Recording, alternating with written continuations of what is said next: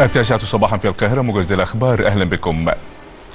يرى سبابة ودروس الثاني بابا الإسكندرية بطريق كرازة المرقسية مساء اليوم قداس عيد الميلاد المجيد بكاتدرائية ميلاد المسيح بالعاصمة الإدارية الجديدة. كانت الكنيسة الأرثوذكسية قد أقامت أمس القداس التجريبي استعدادا للاحتفال بعيد الميلاد.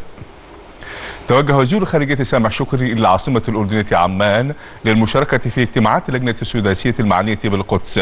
الاجتماع يهدف إلى متابعة تداعيات القرارات الأمريكية الأخيرة بحق القدس فضلا عن تنسيق الجهود والتحركات العربية دوليا بهدف الحفاظ على الوضعية التاريخية والقانونية للمدينة.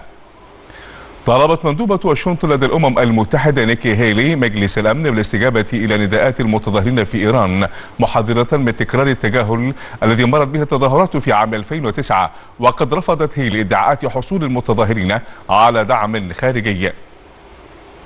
في المقابل اتهم السفير الإيراني لدى الأمم المتحدة دول دولا وجهات لم يسميها بدعم الاحتجاجات في بلاده. كما اتهم أمريكا بتجاوز سلطاتها في مجلس الأمن بعد طلبها لبحث الاحتجاجات في إيران.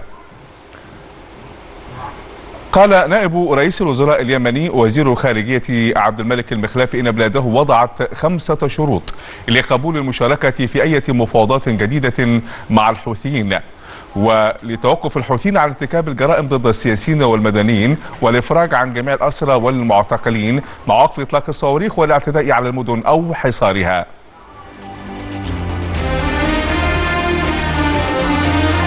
نهايه موجز الأخبار شكرا لكم وإلى اللقاء.